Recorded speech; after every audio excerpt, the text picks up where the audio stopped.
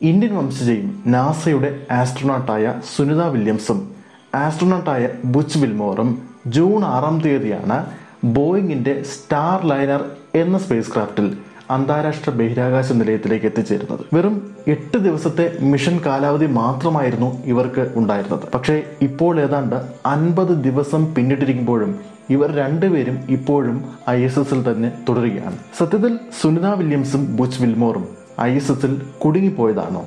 അങ്ങനെയാണെങ്കിൽ എപ്പോഴായിരിക്കും ഇവർക്ക് തിരികെ ഭൂമിയിലെത്താൻ സാധിക്കുന്നത്? എന്തായിരിക്കും ഇവർ ഐ എസ് എസിൽ കുടുങ്ങിപ്പോയതെങ്കിൽ അതിന്റെ കാരണം എന്നൊക്കെയാണ് ഇന്നത്തെ വീഡിയോയിലൂടെ ഞാൻ പറയാൻ പോകുന്നത്. എല്ലാവർക്കും പുതിയ വീഡിയോയിൽ സ്വാഗതം. M S P share.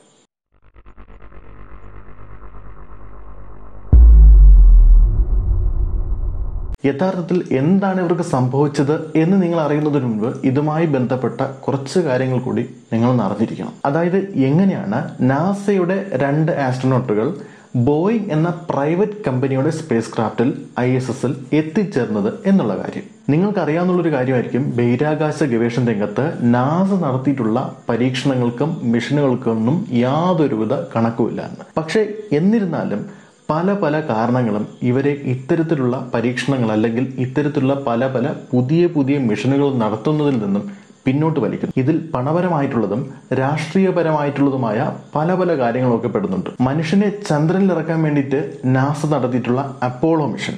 ഈ അപ്പോളോ മിഷന് വേണ്ടിയിട്ട് ഏതാണ്ട് ഇരുന്നൂറ്റി അറുപത് കോടി രൂപയാണ് ഇവർക്ക് ചെലവായത്. ഈ ഒരു തുക എന്ന് പറയുന്നത് നാസയ്ക്ക് അനുവദിച്ചിട്ടുള്ള ഫെഡറൽ ബഡ്ജറ്റിന്റെ അഞ്ച് ശതമാനത്തോളമൊക്കെ വരും. അന്നിവർ ഇങ്ങനെയുള്ള മിഷനുകൾ നടത്തിയതിന്റെ പ്രധാനപ്പെട്ട ഒരു ഉദ്ദേശം എന്ന് പറയുന്നത് റഷ്യയുമായിട്ടുള്ള അല്ലെങ്കിൽ അന്നത്തെ സോവിയറ്റ് യൂണിയനുമായിട്ടുള്ള കോൾഡ് വാറിൽ വിജയിക്കുന്നതിന്റെ ഭാഗമായിട്ടാണ്. പക്ഷേ ഇത്തരം കാര്യങ്ങൾ അല്ലെങ്കിൽ ഇത്തരം മിഷനുകൾ നാസ നടത്തുന്നതിനോട് ജനങ്ങൾക്ക് വലിയ യോജിപ്പൊന്നും ഉണ്ടായിരുന്നില്ല. കാരണം ഇങ്ങനെയുള്ള കാര്യങ്ങൾ നടത്തിയത് കൊണ്ട് ഇതിൽ നിന്നും ജനങ്ങൾക്ക് യാതൊരുവിധ വിധ ഉപയോഗവുമില്ല അങ്ങനെ അവസാനമായപ്പോൾ നാസയ്ക്ക് ലഭിച്ചിരുന്ന ഫണ്ടിങ്ങിലും കുറവ് വരാൻ തുടങ്ങി. ഈ നാസ ആദ്യകാലങ്ങളിൽ ആസ്ട്രോണോട്ടുകളെ സ്പേസിലെത്തിക്കാനും അവിടെ നിന്ന് തിരികെ ഭൂമിയിൽ കൊണ്ടുവരുവാനും ഉപയോഗിച്ചിരുന്നത് സ്പേസ് ഷട്ടിൽ എന്ന് പറയുന്ന ഒരു സ്പേസ് ഷിപ്പ് ആയിരുന്നു ഇത് ആയിരത്തി തൊള്ളായിരത്തി എൺപത്തി ഒന്ന് മുതലാണ് പ്രവർത്തിച്ചു തുടങ്ങിയത് അല്ലെങ്കിൽ ഇതിന്റെ മിഷൻ തുടങ്ങിയത്. ഈ സ്പേസ് ഷട്ടിൽ ഉപയോഗിച്ച് നാസ ഒരു നൂറ്റി മുപ്പത്തി അഞ്ച് മിഷനുകളൊക്കെ നടത്തിയിട്ടുണ്ട്.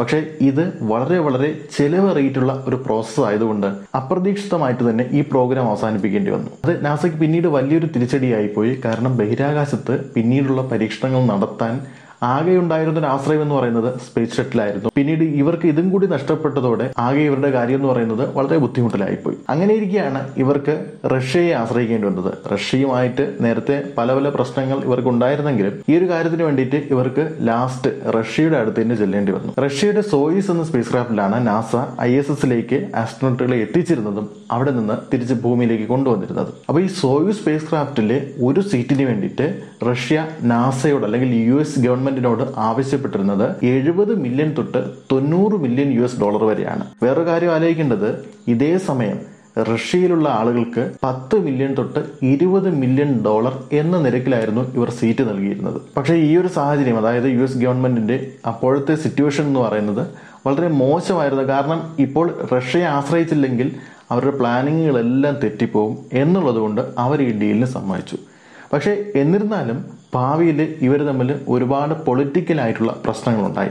ലാസ്റ്റ് നാസയ്ക്ക് ഐ എസ് എസിൽ എത്തിച്ചേരാൻ പറ്റാതാവും എന്നൊരവസ്ഥ വരെ ഉണ്ടായി. അപ്പൊ ഇതേ സമയത്ത് അന്നത്തെ അമേരിക്കൻ പ്രസിഡന്റായിരുന്ന ബറാക് ഒബാമ. അദ്ദേഹം അമേരിക്കയിൽ തന്നെയുള്ള പ്രൈവറ്റ് സ്പേസ് കമ്പനികൾ ലോവർ എർത്ത് ഓർബിറ്റിലേക്ക് കാർഗോയും അതുപോലെ ആസ്ട്രോണോട്ടുകളെയൊക്കെ എത്തിക്കാൻ വേണ്ടിയിട്ടുള്ള പദ്ധതികൾ ആസൂത്രണം ചെയ്യുന്നതിന് വേണ്ടിയിട്ടുള്ള പ്രോത്സാഹനം കൊടുക്കുകയുണ്ടായി. ഇതിന്റെ ഭാഗമായിട്ട് പല പ്രൈവറ്റ് കമ്പനികളും ബഹിരാകാശ ഗവേഷണ രംഗത്ത് നാസയുമായി കൈകോർക്കാൻ തീരുമാനിക്കുന്നു. അപ്പോൾ ഞാൻ ഇത്രയും നേരം പറഞ്ഞ കാര്യം വളരെ ചുരുക്കിയാണ്. അതായത് ഇതിന്റെ പൂർണ രൂപം പറയുകയാണെങ്കിൽ നമുക്ക് ഈ സമയം പറ്റാതെ വരും. ഇനി നമുക്ക് എന്താണ് ഞാൻ തുടക്കത്തിൽ അതായത് നമ്മുടെ ഈ വീഡിയോയുടെ മെയിൻ വിഷയം അതിനെക്കുറിച്ചുള്ള കാര്യത്തിലേക്ക് നമുക്ക് വരാം. അപ്പോൾ ഏകദേശം ഒരു പത്ത് പന്ത്രണ്ട് എണ്ണത്തിൽ കൂടുതൽ പ്രൈവറ്റ് കമ്പനികൾ നാസയുമായിട്ട് പ്രവർത്തിക്കാൻ വേണ്ടി തീരുമാനിച്ചിരിക്കുന്ന ഒരു സമയമായിരുന്നു. അപ്പോൾ ഇതേ സമയത്ത് നാസയ്ക്ക് അവരുടെ ആസ്ട്രോനോട്ടുകളെ ഐ എസ് എസിൽ എത്തിക്കുക എന്ന് പറയുന്നത് ഒരു പ്രധാന പ്രശ്നമായിട്ട് മാറിയിരുന്നു. അപ്പോൾ ഇത് ആരെ ഏൽപ്പിക്കും എന്ന ഒരു സാഹചര്യത്തിൽ അവർ തിരഞ്ഞെടുത്തത് ഇലോൺ മസ്കിന്റെ സ്പേസ് എക്സ് എന്ന് പറയുന്ന സ്ഥാപനത്തെയും ബോയിങ് എന്ന് പറയുന്ന കമ്പനിയാണ്. അപ്പോൾ ഇവർക്ക് നാസ ഒരു ടാസ്ക് കൊടുക്കുകയാണ്. അതായത് നമ്മുടെ ആസ്ട്രോണോട്ടുകളെ സുരക്ഷിതരായിട്ട് ഐ എസ് എസിൽ എത്തിക്കാനും അവിടെ നിന്ന് തിരിച്ച് ഭൂമിയിൽ എത്തിക്കാനും ഒരു സ്പേസ് ഷിപ്പ് വേണം. അതായത് ഒരു സ്പേസ് ടാക്സി വേണം. അങ്ങനെ നാസ ഇരു കമ്പനികളുമായിട്ട് ഒരു കരാർ വയ്ക്കുകയാണ്. അപ്പോൾ ഇതിന്റെ ഭാഗമായിട്ട് സ്പേസ് എക്സിന് ടു പോയിന്റ് സിക്സ് ബില്യൺ ഡോളറും ബോയിങ്ങിന് ഫോർ പോയിന്റ് ടു ബില്യൺ ഡോളറും കൊടുക്കുകയാണ്. ഇതെന്ന് പറയുന്നത് ഈ കാര്യങ്ങൾ ചെയ്യുമ്പോൾ എന്തൊക്കെ ചെലവുകൾ ഉണ്ടാകുമോ അതിലേക്ക് വേണ്ടിയിട്ടുള്ള ഒരു പണമാണിത്. രണ്ടായിരത്തി പത്ത് ഡിസംബർ എട്ടിന് സ്പേസ് എക്സിന്റെ ക്രൂ ഡ്രാഗൺ എന്ന സ്പേസ് ക്രാഫ്റ്റിന്റെ രണ്ട് ടെസ്റ്റ് ഫ്ലൈറ്റ് വളരെ വിജയകരമായി തന്നെ അവർ പൂർത്തിയാക്കി. രണ്ടായിരത്തി പന്ത്രണ്ട് മെയ് ഇരുപത്തിരണ്ടിന് ഐ എസ് എസിലേക്കുള്ള ആദ്യ അൺമാൻഡ് ആയിട്ടുള്ള കാർഗോ വഹിച്ചുള്ള ഫ്ലൈറ്റ് ലോഞ്ച് ചെയ്തു. മെയ് മുപ്പത് രണ്ടായിരത്തി ഇരുപതിന് ഇവർ രണ്ട് ആസ്ട്രോനോട്ടുകളെ വഹിച്ചുകൊണ്ടുള്ള ക്രൂഡ് ആയിട്ടുള്ള ഫ്ലൈറ്റും ലോഞ്ച് ചെയ്തു. ആ ഒരു നിമിഷം എന്ന് പറയുന്നത് യു എസിന് വളരെ അഭിമാനം നൽകുന്ന ഒന്നായിരുന്നു. കാരണം അവർ അത്രയും നാളും റഷ്യ ആയിരുന്നു ആശ്രയിച്ചിരുന്നത്. ഈ റഷ്യയുടെ പല പല ഡിമാൻഡുകളിലേക്ക് അവർ ഞെരുങ്ങി ഞെരുങ്ങിയിരിക്കുകയായിരുന്നു ആ ആ സമയത്ത് ഈ ഒരു കാര്യം എന്ന് പറയുന്നത് അവർക്ക് വളരെയധികം സന്തോഷവും അതുപോലെ തന്നെ പ്രൗഡും നൽകിയ ഒരു നിമിഷമായിരുന്നു. ഇതുവരെ പറഞ്ഞത് സ്പേസ് എക്സിന്റെ ക്രൂ ഡ്രാഗനെ കുറിച്ചാണ്. ഇനി നമുക്ക് ബോയിങ്ങിന്റെ കാര്യം എന്തായെന്ന് നോക്കാം. സ്റ്റാർലൈനർ എന്നായിരുന്നു ഇവരുടെ ഷിപ്പിന്റെ പേര്. ഇതിന് ക്രൂ ഡ്രാഗനേക്കാൾ വലിപ്പമൊക്കെ ഉണ്ടായിരുന്നു. പിന്നെ ഐ എസ് എസിൽ ഏഴ് മാസമൊക്കെ ഇതിന് ഡോക്ക് ചെയ്ത് നിൽക്കാൻ സാധിക്കും. നാസ രണ്ടായിരത്തി പതിനേഴിലായിരുന്നു ആദ്യത്തെ അൺക്രൂഡ് ആയിട്ടുള്ള ഫ്ലൈറ്റ് ഇവർക്ക് വേണ്ടി പ്ലാൻ ചെയ്തിരുന്നത്. എന്നാൽ രണ്ടായിരത്തി പത്തൊമ്പതായിട്ടും ബോയിങ്ങിന് ഈ കാര്യം ചെയ്യാൻ സാധിച്ചില്ല. ഇതിന് കാരണം പലതരം ടെക്നിക്കൽ ഫോൾട്ടുകളാണെന്നാണ് ബോയിങ് കമ്പനി പറഞ്ഞത്. അങ്ങനെ ആദ്യത്തെ ടെസ്റ്റ് ഫ്ലൈറ്റ് പരാജയപ്പെട്ടു. പിന്നെ രണ്ടാമത്തെ ടെസ്റ്റ് ഫ്ലൈറ്റ് ഇവർക്ക് നടത്തിയേ പറ്റുള്ളൂ. അതും സ്വന്തം കയ്യിൽ നിന്നുള്ള പണം ഉപയോഗിച്ചായിരിക്കും. അങ്ങനെ മെയ് പത്തൊമ്പത് രണ്ടായിരത്തി ഇരുപത്തിരണ്ടിന് അതായത് ഈ ഫസ്റ്റ് ടെസ്റ്റ് ഫ്ലൈറ്റ് ഫെയിലായി രണ്ട് വർഷം കഴിഞ്ഞ ശേഷം ഇവർ സെക്കൻഡ് ടെസ്റ്റ് ഫ്ലൈറ്റ് നടത്തി അത് കംപ്ലീറ്റ് ചെയ്തു. ഇതെല്ലാം വളരെ കൃത്യമാണെന്ന് കണ്ടാൽ മാത്രമേ നാസ ഇതിനുള്ള സർട്ടിഫിക്കേഷൻ നൽകുകയുള്ളൂ. അങ്ങനെ അൺമാൻഡ് ആയിട്ടുള്ള ടെസ്റ്റ് ഫ്ലൈറ്റ് ഒക്കെ ഇവർ കംപ്ലീറ്റ് ചെയ്തു. ഇനി അടുത്തായിട്ടുള്ളത് മാൻഡ് ആയിട്ടുള്ള ഫ്ലൈറ്റ് ആണ്. അപ്പോൾ അതിനു വേണ്ടിയിട്ടാണ് രണ്ടായിരത്തി ഇരുപത്തിനാല് ജൂൺ ആറിന് സുനിത വില്യംസും ബുച്ച് വില്മോറും സഞ്ചരിച്ച് ഇപ്പോൾ ഐ എസ് എസിൽ ഡോക്ക് ചെയ്ത് നിൽക്കുന്നത്. അപ്പോൾ സക്സസ്ഫുൾ ആയിട്ടുള്ള ഡോക്കിംഗ് ഒക്കെ കഴിഞ്ഞു. ഇപ്പോഴും അതവിടെ ഡോക്ക് ചെയ്ത് നിൽക്കുകയാണെന്ന് പറയുമ്പോൾ പിന്നെ എന്താണ് പ്രശ്നം എന്നായിരിക്കും നിങ്ങൾ ആലോചിക്കുന്നത്. ഇപ്പോൾ ബോയിങ്ങിന്റെ സ്റ്റാർലൈനറിലുള്ള ഒരു പ്രശ്നം എന്ന് വെച്ചാൽ ഇതിൽ ഹീലിയം ലീക്ക് കാണപ്പെടുന്നുണ്ട്. ഈ ഹീലിയം ലീക്ക് ചെയ്യുന്ന കാരണം ഇതിലെ അഞ്ച് ത്രസ്റ്ററുകൾ ഉപയോഗശൂന്യമായി പോയി ഈ ഹീലിയം എന്തിനാണ് ഈ സ്പേസ് ഷിപ്പിൽ എന്ന് ചോദിച്ചു കഴിഞ്ഞാൽ ഇത് ഉപയോഗിച്ചിട്ടാണ് ഇതിന്റെ പ്രൊപ്പല്ലന്റ് വർക്ക് ചെയ്യുന്നത്. അതായത് ഒരു കാറിന്റെ പവർ സ്റ്റിയറിംഗ് എങ്ങനെയാണോ അതുപോലെയാണ് ഹീലിയത്തിന്റെ കാര്യവും. അപ്പോൾ ഈ സ്റ്റാർ ലൈനർ ലോഞ്ച് ചെയ്യുന്നതിന് മുൻപ് സിസ്റ്റത്തിൽ